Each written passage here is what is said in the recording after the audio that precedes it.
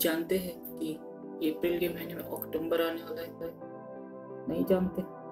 चलिए मैं आपको बताऊँगा। मेरा नाम है अक्षय, आपका स्वागत है मेरे चैनल जिसका नाम है ए के टॉपिक सो दोस्तों, आज हम लोग रिएक्शन करेंगे रिव्यू करेंगे और ब्रेक डाउन करेंगे फ़िल्म की ट्रेलर का, जिसका नाम है अक्टूबर जी हाँ दोस्तों, इसका नाम अक्टूबर है और पहले हम लोग इसका जो ट्रेलर है वो देख लेते हैं और उससे पहले मैं आपको बता दूँ कि इसको डायरेक्ट किया है सुजीत सरकार ने।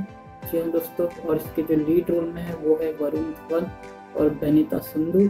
पहले हम लोग इसका ट्रेलर देख लेते हैं, फिर मैं आपको बताऊँगा कि इसकी जो छोटी छोटी चीज़ें वो बताऊँगा, इस पर कुछ फैक्ट्स बताऊँगा, बाद में अपना फाइनल रिव्यू दूँगा।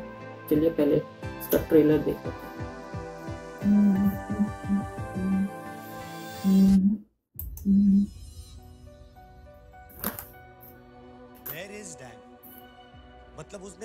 बारे में पूछा। और तुम लोग ने इतनी बड़ी बात मुझे नहीं बताई। अब मैं उसको कैसे बताऊँ कि मैं कहा था?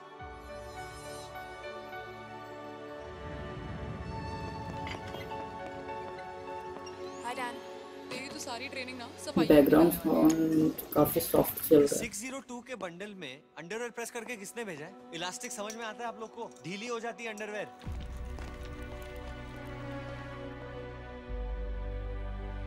सर लेकिन मैं मक्खी मच्छर मारने तो नहीं आया हूँ ना। तेरी पता है प्रॉब्लम क्या है डैन तो हर टाइम इरिटेटेड रहता है। मेरा पता है कब इरिटेट होता हूँ। कब? जब मैं तुम दोनों के साथ रहता थैंक्स डैन यार बता तो देता फ़ोन उठाया तो नहीं मेरी तो हवा खिसक गई थी आज उसको देख के यार। तो कभी आईसीयू गया? नहीं गया ना? मैं गया हूँ। दो बार। तो दो बार गए हाँ। आज और कल। उसने कॉलेज में कभी या मेरे बारे में पूछा था तुमसे? I really don't think she was interested in you तो मेरे लिए क्यों पूछा उसने? Little bit some side of confusion. Output ज़्यादा नहीं है। आज पानी ज़्यादा दिया था। तुम कोई जॉब नहीं करते क्या? हाँ? बड़ा हॉस्पिटल हॉस्पिटल करा तो आज ओवर द टॉप डायलॉग्स और सीन्स नहीं हो रहा तुम? तुम लोग इतने अनअफेक्टेड कैसे हो? लेकिन इस तरह सब छोड़ छाड़ के थोड़ा बैठ जाएँगे। पहचानेगा भी नहीं। This is what you want वो आपको नहीं पहचानती है ना पहचाने। आप लोग तो पहचानते हो उसे।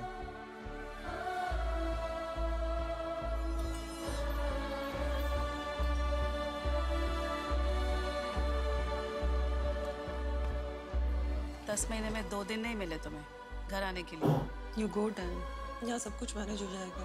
Don't worry I am sorry अब नहीं जाऊँगा।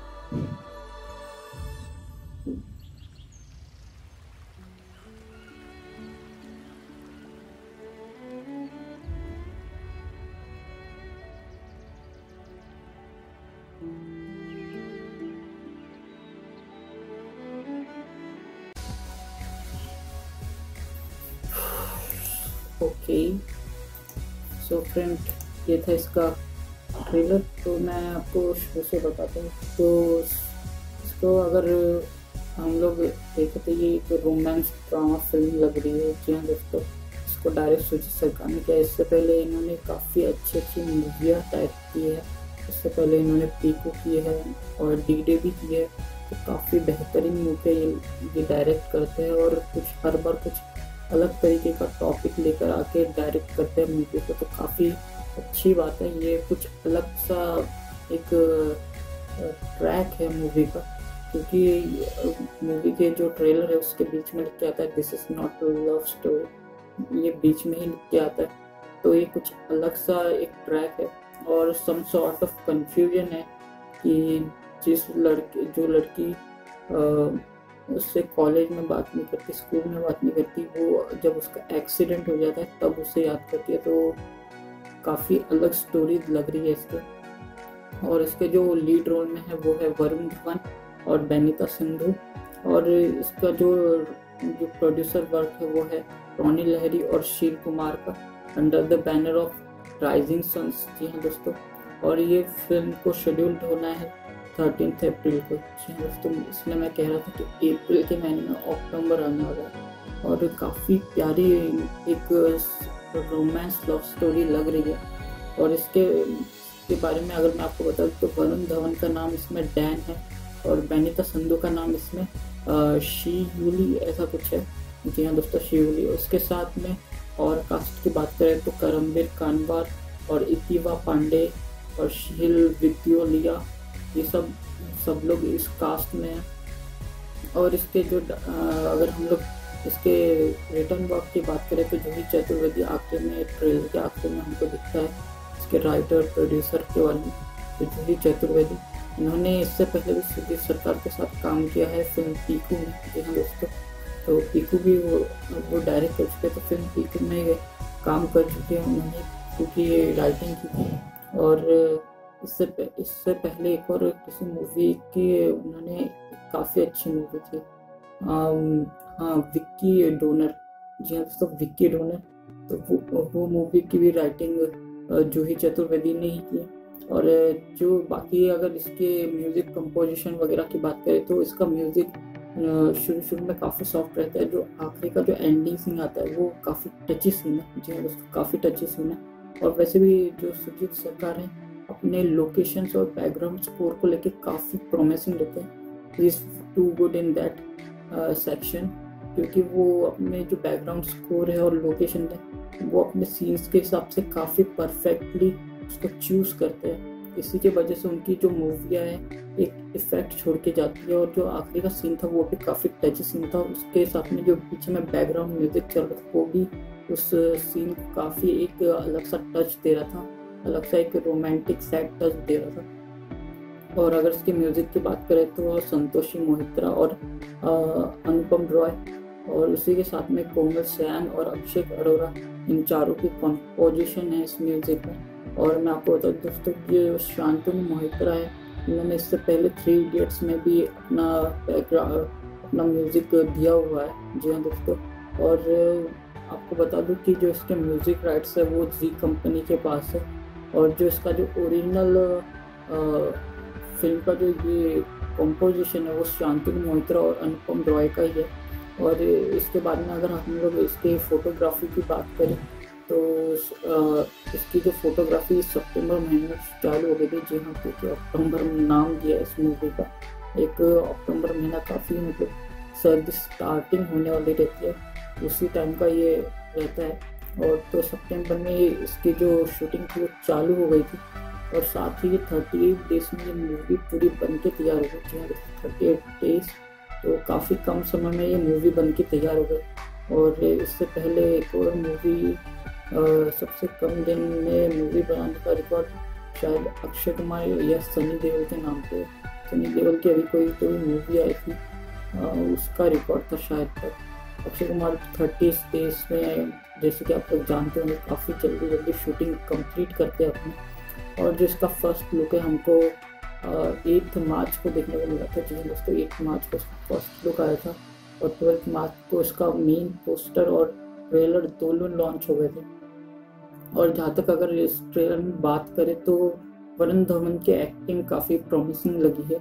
और उनके जो डायलॉग्स थे, वो भी काफ़ी प्रॉमिसिंग थे। और जहाँ तक बात करें तो इसमें फ़िल्म में जो सुजीत सरकार की फ़िल्म रहती है उसमें फो, एक फोटोग्राफी और सिनेमाटोग्राफी पर काफ़ी बड़ी भूमिका रहती है। और ऐसी जो ऐसी फ़िल्म है जिसमें ना कोई एक्शन है ना कोई मसाला है तो ऐसी फ़िल्मों में ये ज़रूरी रहता है कि एडिटिंग परफेक्ट हो। तो अगर इसकी एडिटिंग की हम लोग बात करें तो चंद्रशेखर प्रजापति ने इसकी एडिटिंग की है। और जो सिनेमाटोग्राफी की बात करें हम लोग तो अविक मकोपाध्याय इन, इन्होंने इसकी सिनेमाटोग्राफी की है। तो वैसे भी सरकार की इसमें सिनेमाटोग्राफी का और एडिटिंग का काफ़ी बड़ा रोल रहता है। क्योंकि अगर ऐसी मूवीज़ में अगर आ, कुछ सीन ज़्यादा लंबे हो जाए तो मूवी बोरिंग होने लग जाती है। तो ऐसा ज़रूरी रहता है कि उस फ़िल्म की एडिटिंग परफेक्टली हुई है। और अगर इसके इसमें बात करें तो बाकी दोनों एक्टर्स की जो मेन लीड में है लीड एक्ट्रेस और एक्टर तो एक्टर्स की एक्टिंग हमें उतनी देखने को मिली नहीं है तो हम लोग अभी से जज कर नहीं सकते। और वरुण धवन ऑफकोर्स काफ़ी प्रॉमिसिंग लगे उनके पूरे जितना भी ट्रेलर में उनका सीन्स थे, काफ़ी प्रॉमिसिंग लगे।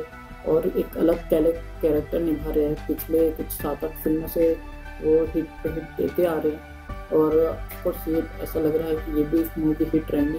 और काफ़ी लो बजट की मूवी है तो तकरीबन फिफ्टीन करोड़ के आसपास की मूवी है। ऑफकोर्स ये फिफ्टी करोड़ के आसपास का बिज़नेस तो डेफिनेटली कर सकती है।